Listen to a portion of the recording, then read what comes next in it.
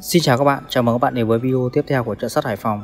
Trong video này thì mình sẽ giới thiệu với các bạn về bộ tô vít đóng có đảo chiều của hãng Asaki, có mã là AK7192. Thì đây là một phụ kiện rất là cần thiết với những anh em sửa chữa xe máy, ô tô hay là cơ khí. Đôi lúc bạn sẽ gặp phải những cái con ốc cứng đầu mà bạn dùng tô vít thường không thể mở nó ra được thì đây là một phụ kiện không thể thiếu.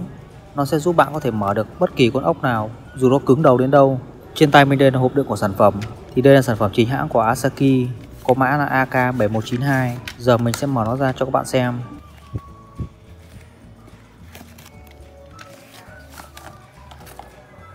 Bên trong thì có một hộp đựng bằng kim loại, rất là chắc chắn. Thì đây là toàn bộ chi tiết của bộ tô vít đóng. Nó bao gồm một thân tô vít và 13 đầu mũi khác nhau.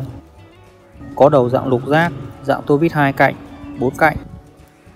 Tất cả các cái đầu này thì được làm từ thép CRV rất là cứng. Còn đây là phần thân của tô vít đục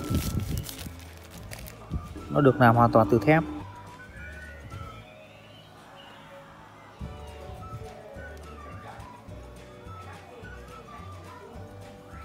Đây là phần khẩu để bạn có thể lắp mũi vít vào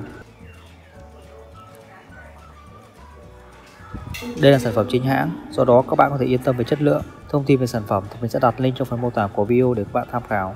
Xin chào và hẹn gặp lại bạn trong những video tiếp theo.